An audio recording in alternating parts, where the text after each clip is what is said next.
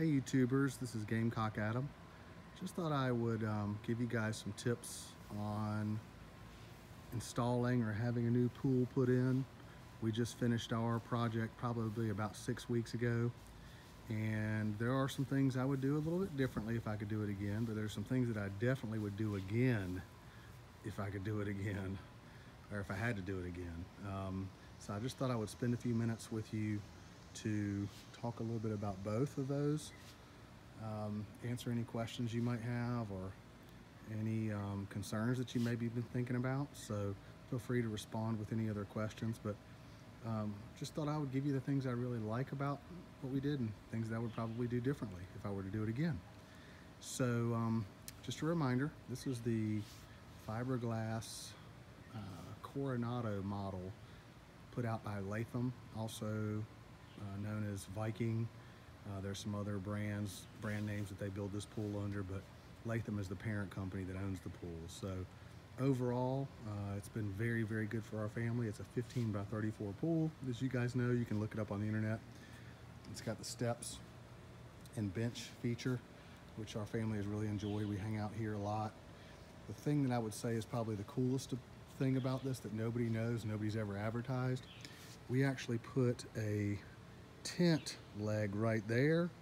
We put a tent leg right there. And so a 10 by 10 or a 13 by 13 tent can cover the first, I guess you could say, quarter of the pool and keep you guys cool when it's hot outside. So that has been awesome for us. And that was a total surprise, but something I would just say you consider. I mean, it's about 10 feet wide at the narrowest spot right there. Um, as you know, you can see it gets wider there across the middle, but that's been a huge bonus for us and kept us cool on some of these hot days in South Carolina. So just something to consider.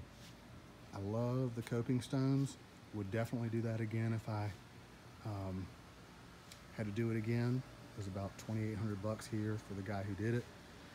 And uh, just really gives it some pop, I think, and makes that, that uh, edge stand out. Uh, so it's kind of a wreck back here, so I apologize about that. But definitely would consider doing some coping stones or some sort of um, cantilever coping if you could. Eventually what we're gonna do out here is the cool deck. You guys have probably seen that. It um, reduces the heat by about 40%. Hasn't been a problem for us really. The temperature, to my, in, in my opinion and my wife's opinion, hadn't really noticed it that much. Um, but uh, just something to consider, something we're gonna do probably after the season. So definitely I would do the coping stones, the cantilever coping stones of some sort, just to give it that detail. Something else I definitely would do again, hell, maybe we would even add a second one of these, is having an extra light socket put out here. So the pool company that put our pool in, installed the pool, um, I got to thinking about this and got a recommendation from a buddy to go ahead and have another socket put out, or um, I guess that's what you call it. it.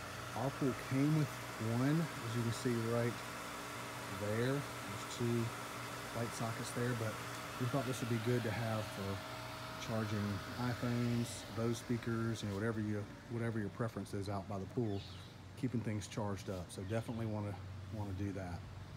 Something else that we did that I would say is a must. It doesn't look all that great yet because I haven't finished it up, but having an extra uh, spigot put in.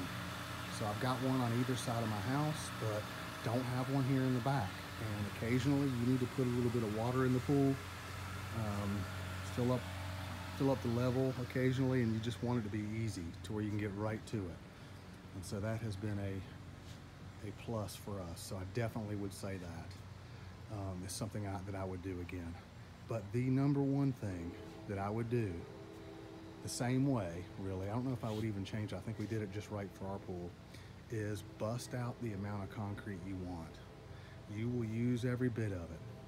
So our pool, we did about, I think it's 1,230 square feet of concrete. Yes, it was expensive, but talk about getting some resale value out of it and being able to use this space. I mean, it's, I mean, we, we are so thankful we spend a little bit extra now to get it done because you don't want to try to add that later, in my opinion. And uh, just something I would definitely, definitely recommend. We put our, our tent here. We have a 13 by 13 tent that anytime I've had people over here, we're putting that tent right here. It's usually back it up to the line. It goes out to about right here. Still have enough room to get around it. Um, and again, like I was saying, you can kind of scoot it up to the edge of the pool. So please consider spending a little bit extra on the concrete now. I know it's pricey, but definitely will be worth its weight in gold in the future. Um, last, I guess, thing, it's not as big of a detail, but something I've had to do after the fact, sod. Don't forget the extra cost of all these other things you're gonna have to do. I had to purchase two pallets of sod. I laid it myself. It was really a pain in the ass, obviously. I'm 43 years old and getting up there a little bit, so um, a little bit of manual labor here. Uh, so putting that sod out kind of kicked my butt for a few days. So uh, don't forget to plan on that and irrigation systems as well.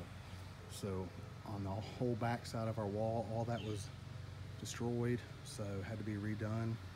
We had six or eight additional sprinkler heads put back there just for our irrigation system and the whole control unit had to be moved too. So please ask me questions about uh, anything that you want related to extra costs or how it works here in South Carolina. I'll be glad to tell you kind of how we paid for things.